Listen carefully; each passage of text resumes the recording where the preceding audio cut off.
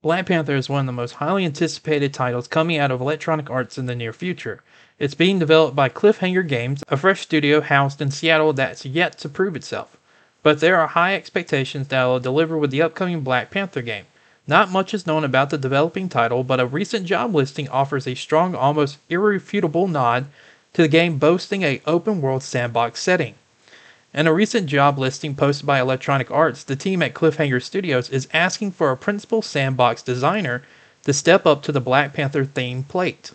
This is particularly interesting post as it makes several references to an immersive open world environment being created as the foundation for Black Panther. 1. Will be instrumental in designing and populating encounter systems and gameplay with a dynamic and evolving open world. 2. Mechanics that contribute to a rich sandbox environment and three, contribute to a living, breathing game world. That is enough to make Marvel fans weak at the knees and an open world Black Panther game that lets them explore the vast beauty of Wakanda. Not only that, but it's being pinned as a living, breathing world that will evolve and remain dynamic as the player explores it. There are high expectations as the lead on the project is Kevin Stephens, who previously worked on Shadow of Mordor and Shadow of War, a fantastic open world duo rooted in the heart of Lord of the Rings franchise. And, and, personally, I don't hate the idea of Black Panther, especially if they kind of put it in the same world design as like Shadow of Mordor. Uh, I, I think that would be very interesting.